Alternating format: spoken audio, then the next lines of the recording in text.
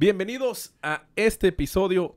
Pues ya vamos en el número 6 de este Emprepedia Podcast, semana con semana. Y en este Día del Niño seguiremos hablando de o retomando muchos de los conceptos que nos quedamos la, la ocasión pasada. Como siempre, me acompaña Cristian Rech. ¿Cómo estás, Cristian? ¿Qué tal, Paco? Muy a gusto de estar aquí platicando de negocios. Y aparte, celebrando el Día del Niño, donde tú, como papá, como nuevo papá, vas a celebrar el Día del Niño. Sí, es otro rollo ya. eh, festejarlo como padre cuando tienes hijos pequeños es diferente. Es diferente. Y pues esto lo podemos unir con el tema de las marcas, ¿no? Porque eh, también es un día así como yo creo que el día de San Valentín estamos Sí. rodeados de marcas. Pues hoy, justamente como Día de Niño, pues también se vuelve mucho de, de- de- de branding y juguetes y McDonald's y restaurantes de esto con, con este mercado, ¿no? Sí, fíjate, si te das cuenta todos los meses en México, que es eh, pues, donde la mayoría de la gente nos escucha, donde nosotros vivimos, todos los meses hay algo que celebrar, ¿no? Ahorita el 30 de abril, Día del Niño, pero próximamente en 10 días 10 de el 10 mayo. de mayo, ya está todo el hype en las tiendas de todas las promociones, productos, este, etcétera, del, del 10 de mayo, que culturalmente, pues ya sabemos que en México es muy importante la mamá. El Día de las Madres. La familia, ¿no? Y es que en este contexto, eh, la ocasión pasada, que fíjate que, que gracias a, todos los que nos escuchan, todos los que nos ven por YouTube, todos los que nos escuchan por Spotify y iTunes, pues fue muy, muy, muy bien recibido este, el, episodio pasado. Eh, aunque sí eh, nos, fue como que más tendencia a platicar sobre la parte financiera, queremos dividir ahora en este episodio, con este episodio que continúa, abundar, platicar más sobre las marcas potentes. Platicamos sobre lo que era valor de empresa y terminamos platicando sobre lo que era valor de marca y la importancia de generar marca. La importancia y las circunstancias en las cuales las marcas se vuelven potentes y están totalmente eh, en, el, en el top mind de- de- del consumidor, de- del cliente. Sobre eso, ¿qué nos puedes platicar, Cristian? Sí, pues mira, eh, que- quedamos de platicar la vez pasada de un concepto que se llama eh, Customer Journey. El Customer Journey es ver cómo el, el cliente o el posible cliente eh, pasa por una serie de circunstancias o etapas desde que no conoce la marca hasta que la conoce por primera vez y va teniendo ahí ciertos roles hasta que puede llegar el punto en el que no puedan vivir sin ellas. ¿no? Que era esta pirámide que no, que platicamos al final, que, que te mencionaba de primero, pues es conocer de existo, ¿sí? Exacto. Hola, estoy aquí, hasta el final, donde sabes que yo sin ti no puedo vivir. Exactamente, entonces puedes tener muy buen producto, ya vamos a empezar con las frases, ¿no? Puedes tener muy buenos productos o muy buenos servicios, pero si nadie sabe que existen, pues la verdad es que no va a servir de, de mucho. Fíjate que una vez estábamos haciendo un proyecto con una empresa de zapatos que tiene eh, más de 100 sucursales en todo el país y un modelo en particular se vendía, eh, se vendía demasiado. Pero en una sola tienda no, se- no se estaba vendiendo. Entonces, haz de cuenta que se estaba vendiendo en 99 tiendas sí y en una no. Y yo, y yo hay veces platico de esto con, con los muchachos en clase y les digo, ¿por qué creen que no se vendían? Y me dan respuestas de que, pues no sé, este, porque en ese lugar en particular la cultura es dif- costumbre. la- de- es, diferente, o la costumbre, etcétera, tal. Y al final lo que pasó es que en esa tienda ese producto no estaba exhibido. Y esa Eh, era la gran diferencia. Esa era la gran diferencia. Entonces, eh, lo empiezan a exhibir y empieza a venderse ese producto. Entonces, lo mismo pasa con nuestros productos y servicios. Tú puedes tener los modelos más bonitos, puedes ser el mejor proveyendo lo que sea que hagas, puedes tener el mejor servicio, etcétera, pero si no lo has comunicado bien, pues no te va a servir de nada. Fíjate que, que tengo una historia muy similar. Voy a omitir nombres de tanto de personajes como, como de compañía, pero era una cafetería, ¿no? Y, y- donde esa cafetería eh, no- nos comenta esta persona que eh, pues tenía un gran enemigo, tenía eh, una gran competencia que justamente era Starbucks, ¿no? En un mundo donde probablemente, sobre todo en esta ciudad, Starbucks es un gran competidor, ¿no? Es quien se llama eh, eh, eh, aquí el, pues todas las tortas del recreo. Esta cafetería que si bien está muy posicionada en el sur, en el centro sur, eh, aquí en el norte pues eh, tenía mucho trabajo que hacer para tener posicionarse como, como marca. Entonces se dieron cuenta y me comenta esta persona que, eh, que motivaron las ventas cuando él toma decisión, le encargan una de las tiendas y, y él como gerente de la tienda así se, se, pues toma la decisión, agarra una cámara, toma fotos, agarra de su presupuesto y en las paredes pone las fotos del producto, Al inicio, fíjate que no fue bien visto eh, con, con- con, eh, la franquicia o con el formato de la franquicia, porque decían que pues eso destrozaba visualmente el concepto que tenía en cafetería, porque querían imitar mucho al, al concepto que tenía Starbucks. Pero ya después, reflejando todo lo que estaba ocurriendo en ventas, cuan- de- a partir de que se pusieron estas fotografías del producto, fue cuando empezaron a vender más. Porque aparte, pues hay, hay- hay que mencionar que esta persona, pues se le daba la fotografía y tenía cierto, le voy a decir, carisma siendo fotógrafo al, al- tratar de representar algo con la cámara. Y empezó a irle muy bien a la tienda, simplemente porque estaba exhibiendo el producto en esas fotos de una manera, pues, eh, algo muy, muy, muy, digamos, refrescante. Pues estás hablando que empezaron esas fotos en tiempo de calor, cuando eh, eh, los frappés y todo este tema, pues es, es el, producto que más se consume. Y, y- y básicamente aquí esa moraleja que, que me daba o nos explicaba es que pues quien no enseña no vende. Así suena vulgar y corriente, pero eso aplica mucho en las marcas. Quien no enseña no vende. Así es. Fíjate que la primer, eh, digamos, fase de, de- de esta pirámide, como tú le llamas, yo, yo más que pirámide lo veo como una serie de pasos. Una como, serie de pasos. como si jugaras un, este, un Monopoly, ¿no? De que avientas un dado y vas avanzando y vas avanzando. Entonces, el primer, la primer casilla de este, de este tablero, digamos, es algo que en marketing en inglés le llaman brand awareness.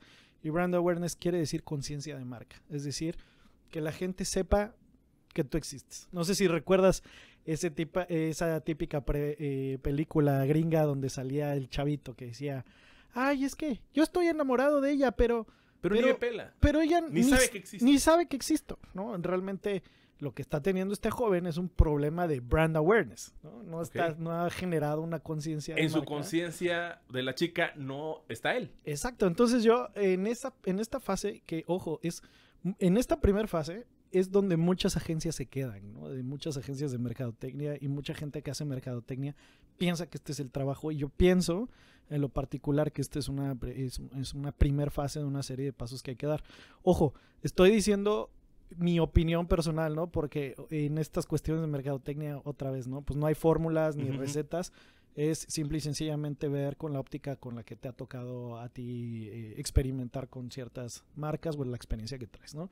Entonces, mi pregunta en esta, en esta primer fase para las marcas es, ¿qué estás haciendo para que los demás sepan que tú existes? ¿No? Y esto aplica como persona, como profesional, como marca, como tienda, como, como todo, ¿no? A lo mejor tú puedes ser un contador fuera de serie y la gente No sabe. sabe. Entonces mi pregunta es, ¿y qué estás haciendo para que la gente Porque sepa? luego ocurre también esta miopía, o no sé si llamarle miopía, de las empresas respecto a su producto.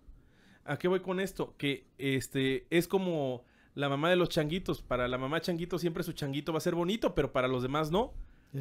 Porque no se han, no se han dedicado a cacarear el huevo, a, a- a mencionar que el producto, el producto tiene ciertas características, etcétera, etcétera. Entonces puede ser muy bueno para ti, pero no se lo has comunicado a los demás. ¿Tú te, tú te has puesto a pensar por qué la gente es famosa?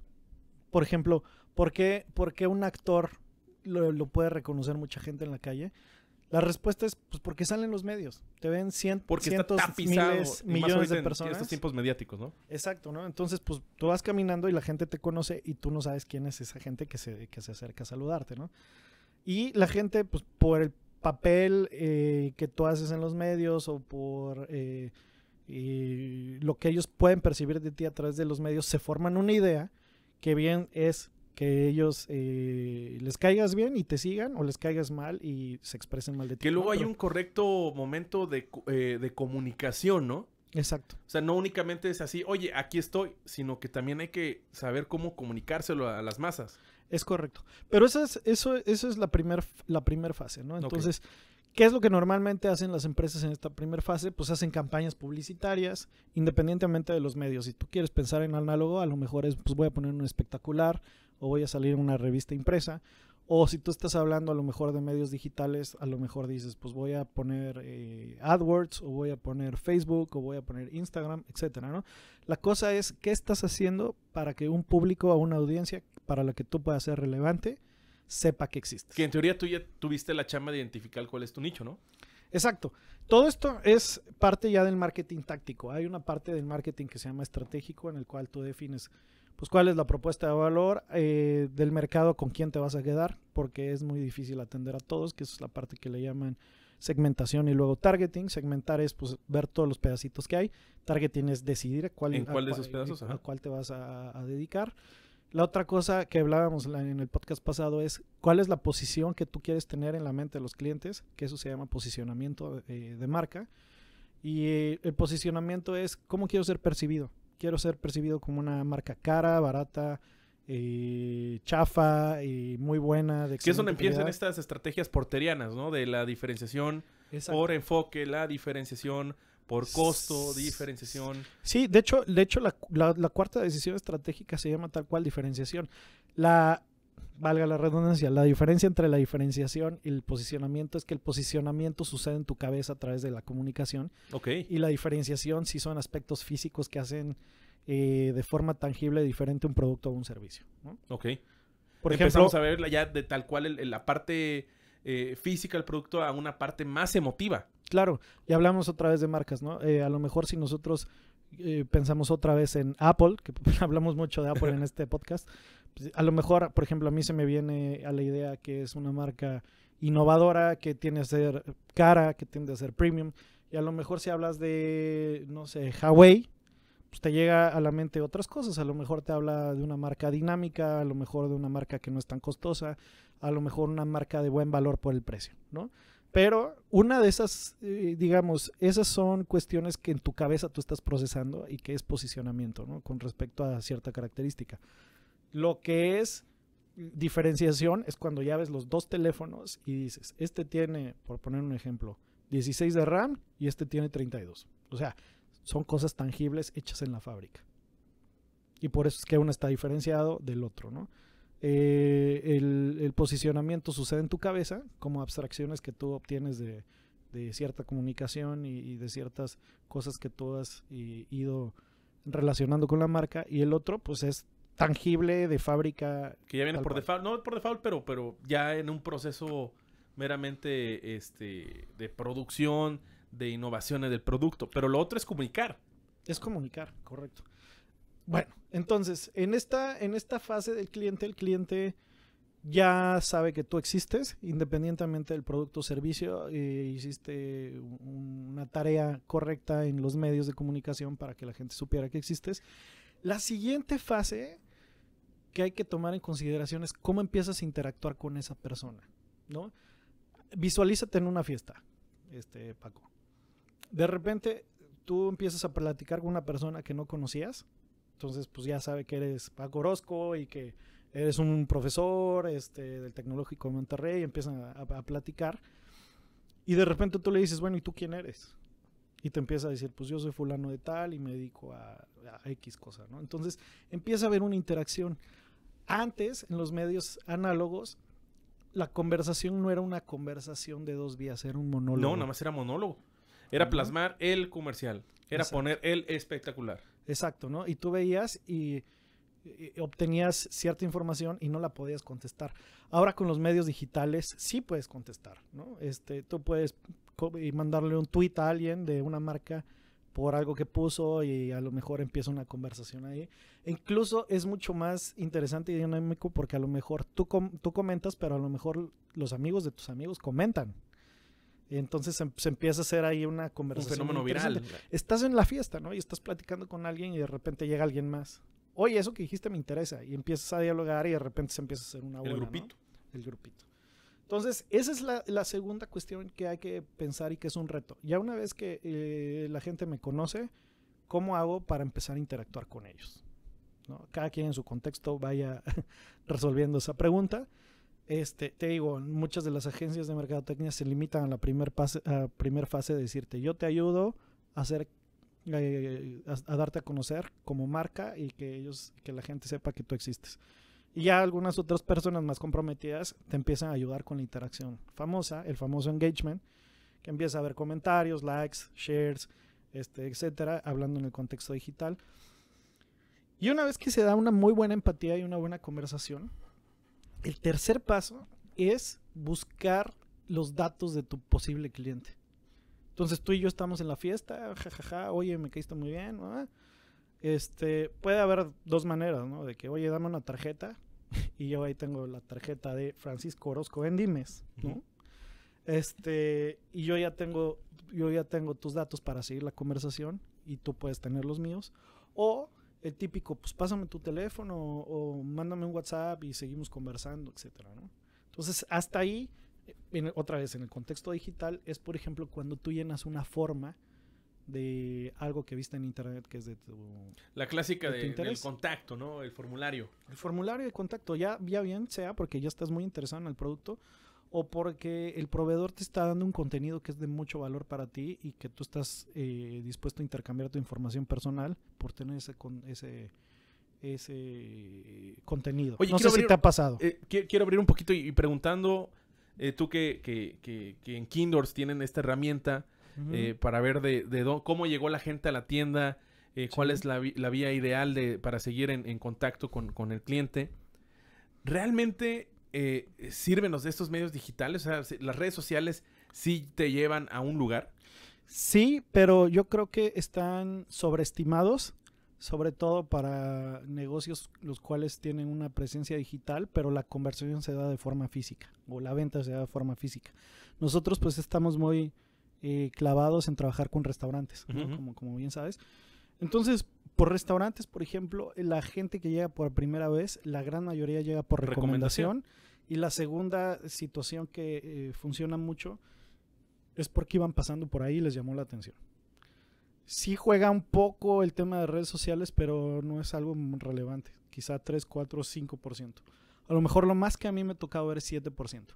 Entonces, esto es muy interesante medirlo en punto de venta. ¿Por qué? Porque hay muchas métricas digitales eh, que, que- que te repito, estas aplican cuando la conversión se da de forma física, no digital este, hay muchas métricas digitales que te dicen, oye, te vio tanta gente y tanta gente, personas Sí, no, que ahí, interactuaron. ahí probablemente te puedes confundir realmente si, si es útil o no es útil claro. en la red social, porque si hay un conteo, si hay un contador, si hay un tema de views, hay un tema de clics. Sí, mira, yo creo que en el contexto en el que están la mayoría de los emprendedores, todas esas de que, oye, tengo tantos likes y tantos followers y tantos, son métricas banales, ¿no? De, de pura vanidad. El tema duro es, pues, ¿cuánta gente que te vio en redes sociales fue realmente a tu restaurante a consumir? ¿No? Porque eso es conversión. Y ese es Que es el tema de la conversión. Empieza ahí el tema de este embudo de, de convertir este volumen de gente Sí. que te conoce allá a venta. De hecho, este Customer Journey es un embudo de ventas, nada más que tú lo estás viendo desde el lado del cliente. Cómo le hizo el cliente para, Para conocerte.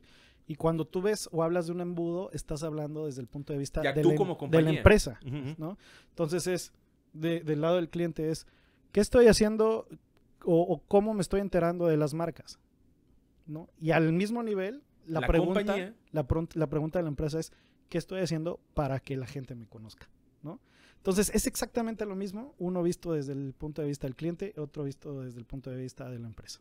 Oye, formularios. Esto es importante. Sobre todo porque quiero compartir un poquito, esto se va a volver un poquito así de confesiones de Francisco Orozco. Échale. Eh, pues ando buscando casa. Ah, ok. ¿Va? Qué fuerte. Ando buscando casa, ¿no? Este, ya para a estos 33 años creo que ya es momento de este, sentar cabeza. Pero bueno, entonces, eh, contacto fácil, rápido. eh, ya sabes que con esta eh, publicidad o con eh, eh, social media que ya te, una vez buscas y ya te aparece, te tapiza por todas las redes sociales, páginas, te aparece información de, de, de- de esta industria, eh, pues uno llena formularios. Así es. Pero bueno, la pregunta es, ¿realmente después sirven los formularios? Porque ya después de que contesté, nada más quería información. El problema es que ahora me persiguen, me atosigan eh, y, ya, ya me están hartando. Ya, ya es más, ya no quiero la casa, nada más por eso. Mira, esa es muy buena pregunta. La siguiente fase que, que- que sigue cuando alguien te deja sus datos de contacto, la siguiente, en, digamos, en la metodología o como yo lo tengo en, en mi cabeza, es precisamente la conversión. O sea, ya sabes que existo, ya conversamos, ya intercambiamos datos. Mi siguiente, mi siguiente Que objetivo. tiene que ser algo también como de relaciones humanas, ¿no? De esta, de, me está Totalmente. intenseando, me Totalmente. está totalmente. atosigando. Es que, es que, de hecho, todo este tema es muy humano, ¿no? De, de hecho, qué bueno que lo tocas porque te quiero poner un, un ejemplo muy humano, ¿no? Este, a ti te gustó una muchacha que viste en el bar, ¿no? Así de ceros. Entonces, fíjate cómo incluso los, eh, las, las maneras en las que tú hablas de forma comercial también las usas a veces en el tema este de Eh, ligue, ¿no? sí, sí, claro, claro. Oye, claro. ¿traes algún prospecto? ¿No? Es, este, pues sí traigo ahí algunos prospectos, ¿no? De que, o, o prospectas, depende, o prospectes, Depende- Lenguaje inclusivo. depende, ¿no? Inclusive. inclusive. Entonces, pues hay prospectos, ¿no? Es gente que califica con ciertas condiciones para que tú tengas una relación. ¿Correcto? Entonces, ahí es, por ejemplo, en el bar, pues a lo mejor las, las miraditas, ¿no? Y, y ya las miraditas y después vas y te presentas. Y esa presentación ya es el awareness, ya es, oye, soy fulanito de tal, bla, bla. A lo mejor se da padre y conversan, o a lo mejor y no. Definitivamente no. Ajá. Pero es lo mismo, ¿no? Ah, Oye, el siguiente paso es, ¿y le sacaste el teléfono a la muchacha? Pues es- este, son, los, son los datos, ¿no? Y a lo mejor hay una segunda cita y una tercera cita y tal. Fíjate, en ventas sucede, y hay una tablita ahí de gente que estudia este tema, que para que se dé una conversión, eh, eh, digamos, debe de haber eh, una serie de interacciones. Te dicen que como 10, 11 o 12 más o menos. Ok. Pero también del otro lado hay, una, hay un tema estadístico que los vendedores, el 90% en la segunda interacción se dan por vencidos. Y una interacción es, a lo mejor tengo una pregunta, te la contesto, te mandé un mail, te la contesto, te hice una llamada, no me contestaste y ya, ahí me di por vencido, en lugar de... de- de- Entonces, ¿cómo era esta conversión otra vez, perdón? Ok, para que se dé la conversión, Ajá. más o menos se tiene que dar como, eh, digo, en términos generales en ventas, porque cada industria es diferente, pero te dicen que más o menos como 12 interacciones. Ok. ¿Qué, qué te digo? Interacciones es eso, es este, una conversación corta en WhatsApp, una llamada. Pero que realmente haya ocurrido. Sí, claro, claro, ¿no? Porque, porque la gente todavía no tiene la información suficiente para poder eh, tomar una decisión que, lo, que los convierta en clientes. Entonces, eso mismo pasa, regreso a la, a la muchacha del bar. Tu principal oferta es que se case contigo. Entonces, tú llegas con la muchacha y le dices, hola, soy Francisco, cásate conmigo. Pues, ¿qué te va a decir? Te va a decir, no. pues está. O sea, hay 99.9% de probabilidad que te diga que no, ¿correcto? Entonces, eso es lo que pasa en las ventas, que tú llegas y lanzas tu primera oferta sin conocerte así en frío. Pues no, pues el 99.9% ¿Qué va? ¿No? va a, ser, va a ser que no. Entonces, las ventas, que ya va, que va muy de la mano de, en, en este Customer Journey, va, va a ser una carrera de resistencia y no de velocidad. De resistencia quiere decir, va, va a haber muchas interacciones hasta que el cliente esté listo para tomar una decisión. Hay veces queremos que sea de velocidad, de, oye, soy Francisco, ah, vendo tal cosa, ah, cómprame, cómprame, cómprame, cómprame. Y pues no, no es así. Ojo, ahí te va el tip y el secreto para todos los que nos estén escuchando. Hay algo que le llaman micro commitments en ventas. Micro commitments es, Interesante. ¿Qué es eso? es pídele a la persona con la que estás interactuando algo con lo que se pueda comprometer que no sea un gran compromiso como comprarte tu principal oferta. La muchacha en el bar. Pues si le dices que se case contigo es un gran No, compromiso es un que le estás pidiendo. Pues la salita. Pero, ¿qué tal si le dices, oye, el nos, cafecito, nos tomamos una chela una chelita ahí. ahorita y platicamos? Pues hay mil veces más probabilidades que te diga que sí, nos tomamos la chela y platicamos, a que te diga sí, me caso contigo ahorita, ¿no? Y ya después es, en ese cheve, pues te digo, se da ahí eh, interesante la, la conversación, hay confianza, Sigue. Me das tu teléfono, te llamo, hay seguimiento, hay una segunda cita que es el cine, hay una tercera cita que es a cenar, hay una cuarta cita, ¿ah? hasta que de repente ya te sientes con la, con la confianza de decirle, cásate conmigo, después de un año, dos años, cinco meses, cada caso Cada, cada caso diferente. Depende de la industria. Depende de la industria, depende, depende el engagement, depende la marca. Pero lo que sí es que va a haber mucho más probabilidad de que te diga que sí. Entonces, en tu contexto, tú piensas, antes de pedirle mi principal oferta o mostrarle mi principal oferta, ¿qué micro commitments puede tener el cliente conmigo? ¿no? Es, por ejemplo, yo que vendo un software, a lo mejor es primero una muestra gratis, pruébalo, no te va a costar. Luego es, te enseño cuáles fueron los resultados de esa prueba.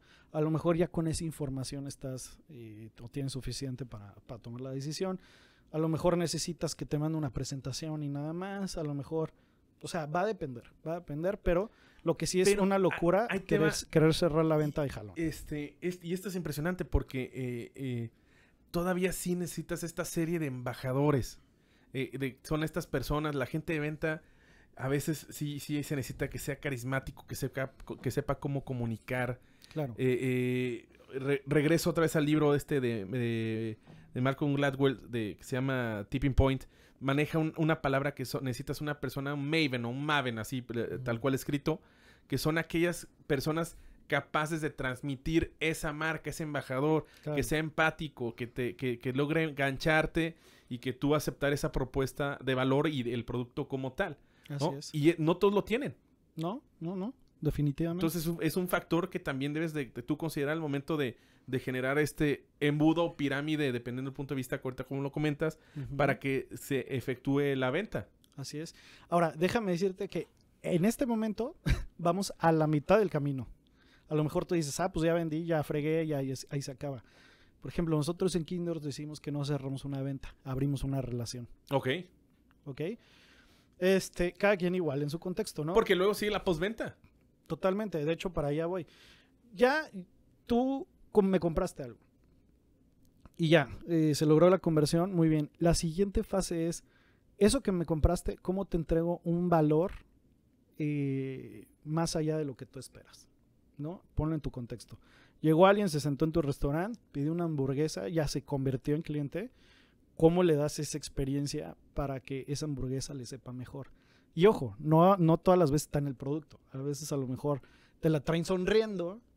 Este, y eso pues te es mejor y no te cuesta nada Ajá, ajá. a que si te la traen de malas. O no lo sé, ¿no? Hay cada quien deberá de diseñar la, la, la Porque también tienes que diseñar toda una experiencia, ¿no? Claro, claro. Entonces ahí es, eh, eh, es cómo entrego ese producto o ese servicio que la gente ya me convirti- que ya, que ya se convirtió en mi cliente eh, de forma superior a lo que espera.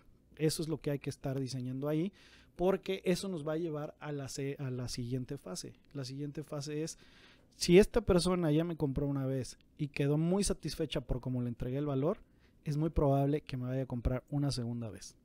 Entonces ahí lo Y que me recomiende. y que o me reco- recomiende. Todavía, todavía no llegamos a la recomendación. Todavía llegamos a. Fui a un restaurante, me encantó. Este, voy a regresar.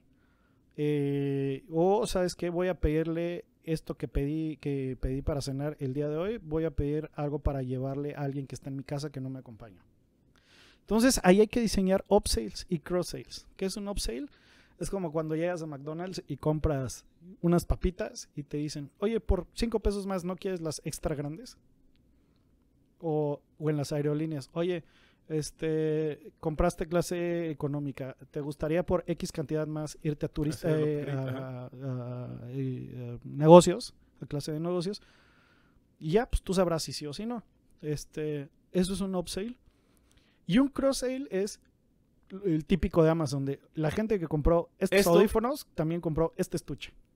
Ventas que tienen que eh, cierta relación, que son, que son cruzadas, ¿no? Entonces, pues la lógica es que si con lo que compró de forma base le gustó mucho, pues puede que haya una gran probabilidad de que te compre el upgrade o el upsale o que te compre lo complementario que es un- una venta cruzada o un cross sale, ¿no? Que ahí es cuando tú empiezas a optimizar la venta con un cliente. Pero que también el cliente se empieza a volver fan poco a poco. Ahí sí. Entonces, cuando tú ya pasas esa fase, la siguiente fase es cuando el cliente se vuelve tu abogado.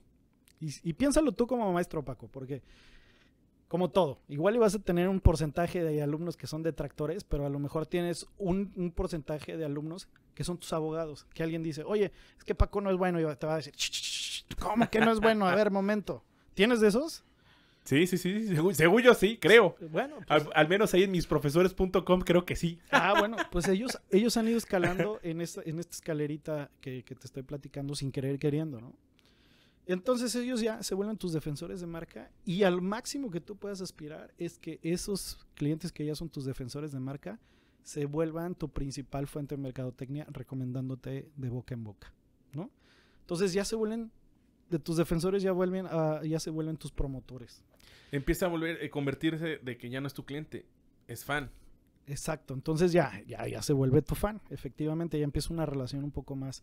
Y fíjate, este awareness, que es la primera fase de cómo sabes que alguien existe o que, eh, o que un producto existe, cuando tus, prim- tus propios clientes empiezan a generar awareness en otras personas, que le empiezan a decir, oye, mete esta clase con Paco Orozco, y te va a decir, ¿quién es Paco Orozco? Ah, pues es, es un maestro que fulano, pero ellos ya escucharon y supieron de ti por clientes tuyos que tenías en el, en el, en el pasado y eso es a lo máximo que tú puedas aspirar como marca, ¿no? Que, que las personas estaban súper contentas con Que lo se que vuelvan haces. embajadores. Son tus, son, son tus eh, defensores y son tus promotores y este y, te, y van a estar difundiendo lo que tú haces con su comunidad. Y creo que igual digo una, una disparatada, pero pareciera que todavía el de voz en voz sigue siendo lo más importante.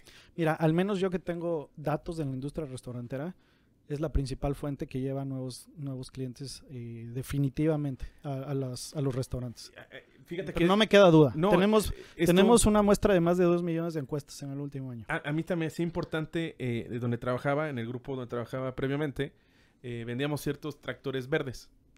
Ciertos tractores verdes donde, pues, luego, eh, y eso pasa también con el, el esquema de las agencias de coches, ¿no? Donde es difícil, dependiendo la situación económica eh, que pasa el país, de, de la- los propios clientes, pues, eh, en teoría deberías estar cambiando el equipo cada 4 o 5 años. La realidad es que en México no sucede eso. ¿no? Eh, lo cambias cada 10 u 8 años.